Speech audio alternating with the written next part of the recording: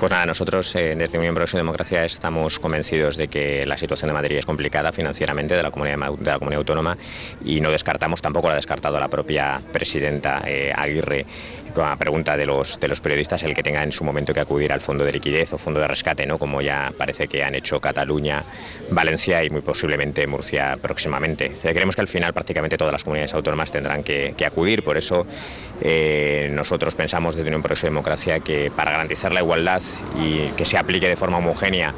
las reducciones del gasto público en todas las comunidades autónomas, lo razonable sería, vista la situación, que desde el Estado se intervinieran las comunidades autónomas en aplicación del artículo 155 de la Constitución, esto es,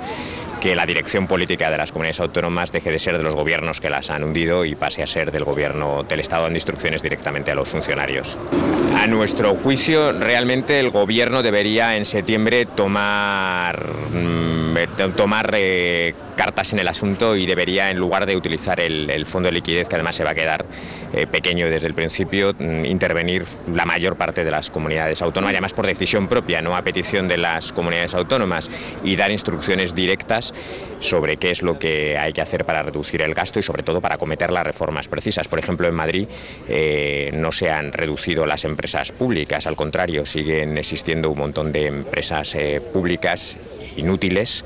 que solo sirven para colocar a gente próxima al Partido Popular, o organismos inútiles como el Consejo Consultivo, la Agencia de Protección de Datos, etcétera, que también solo sirven para colocar a gente próxima al Partido Popular y no para servir a los ciudadanos de, de Madrid. Todo, con todo eso es con lo que el Estado tendría que acabar para mantener los servicios esenciales de educación y sanidad.